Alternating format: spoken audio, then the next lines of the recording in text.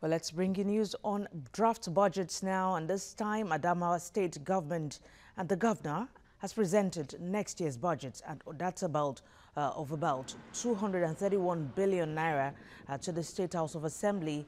The budget, titled Budget of Next Level, would consolidate development projects executed by the state government. 55% will be spent on development projects, while 45% will take care recurrent expenditures.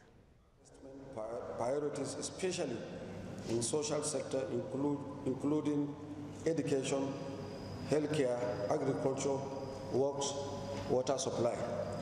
Mr. Speaker, we recall that in 2017, the partnership between the executive and the legislator led to the timely preparation and approval of the 2018 budget that was assented to in December 2017, which is milestone in effective planning as a state in Nigeria.